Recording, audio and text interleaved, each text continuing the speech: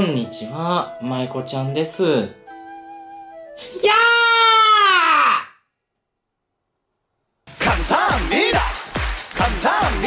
皆さん、本当にチャンネル登録者ご万人ありがとうございます。本当ありがとう。もうみんな本当ありがとうね。聞こえてるありがとうってね。ありがとう。ね聞こえてる？ありがとうね聞こえちゃう？本当に。おい。おい。あ、もしもし。母さん、ありがとう。うん。ありがとう。ええありがとう。うん。は？何いや、お前に言ってねえし、ありがとうって。は？お前勘違いすんなよ、本当に。お前に対して言ってねえわ。は？お前、くそ、ふざけんなよ。勘違いすんなよ、本当に。腹立つわ。はい、ということで今回はインスタグラムの方で質問募集したんで、どんどん答えていかしてもらっていいですか？一つ目、どこ出身？山口県です。地元の魅力。地元の魅力か。え山口県。あれ、山口県ってなんかあるっけ？僕がいます誰ですか？うん、確かに誰？ファイヤーファイヤー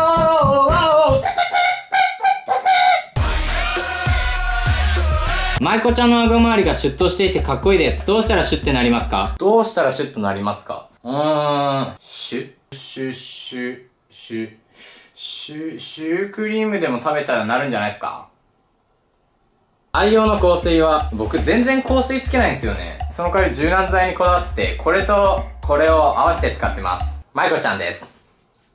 挨拶がてらにいただきますお願いします。あ、確かにいただきます言うの忘れちゃった。あっぶねー。じゃあちょっとやらさせていただきます。いただきまーすえ？ちょ、待って待って待って待って。弟から電話来た。なになになになに怖っ。お前マジでうるさい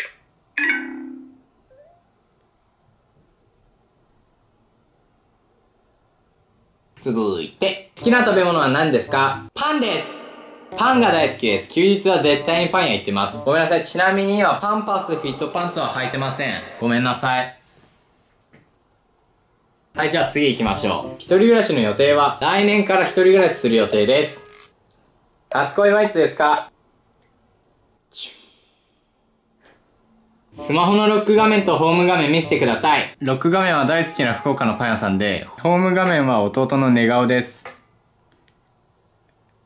はい、次トイレ行ってきていいですか？勝手に行ってきてください。どうぞ。はい。どうぞ。勝手に行っちゃってください。言わなくていいんで。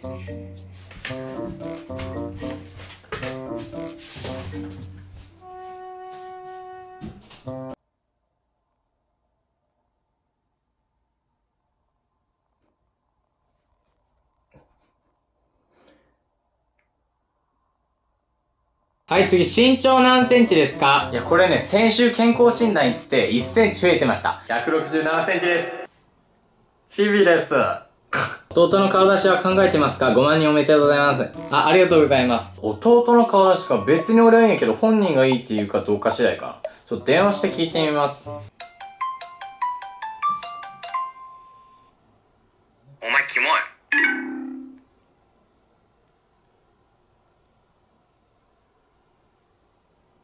好きな K-POP アイドルは何ですか？イッチ。次、なんでそんなに肌白いんですか？いいなでも肌白いっすかね、僕。まあ、結構普段心がけてるのが、日に当たらないようにしたり、あと日焼け止めクリームはめちゃくちゃ塗ってます。したら多分こんくらい白くなりますよ。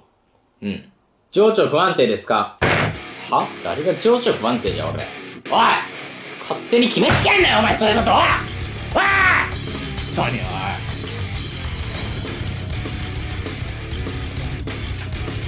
じゃあ続いていきましょう。本当にふざけんなよ、はにゃはにゃエレンのお母さんを食ったことありそうな顔してますねって。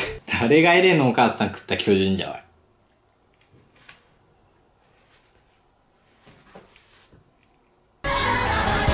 朝起きたらすることは、朝起きたら大体寝返り選手権の振り返りをコーチとやってます。はい。危ないぞ危ないぞ落ち、落ちたーということで今回も始まりました。第11回寝返り競争世界選手権でございます。実況は私、キムソクジンでお送りいたします。さあ、今映し出されているのは11大会連続出場中のマイコちゃん選手です。マイブームの食べ物って何ですか？最近ね、高級生食パンにハマって、あれマジでうまいの。あ高級生食パンっていうのはもう焼かずにも何もつけずに食べるんですよ。それでめちゃくちゃ甘くて美味しくて、で、高級生食パン最近流行ってて、あの、結構いろんな店舗があるんですよ。それを食べ比べするのもね、またよくして、作ってほしいみんな。でさ、あのね、高級食パンある体重何キログラムですか？じゃあ測ってみるか。体重計持ってきました。出ました。58.2キロです。でもね、これね、カツラがだいぶ重いんで、カツラが多分4キロくらいあるんで、多分マイナス4で今54キロくらいです。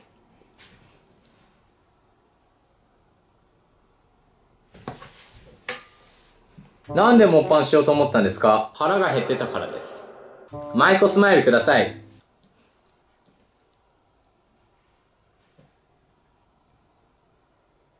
はい、次。男性やめますか？それとも女性やめますか？えー、っと、ダイエットやめます。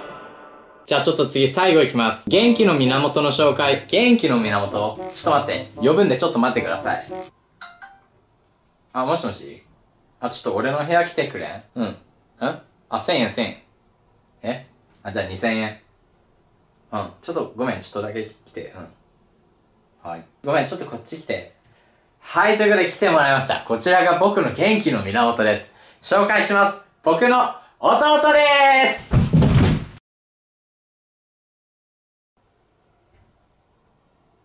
元気いっぱいはい、ということで皆さん、たくさん質問本当にありがとうございました。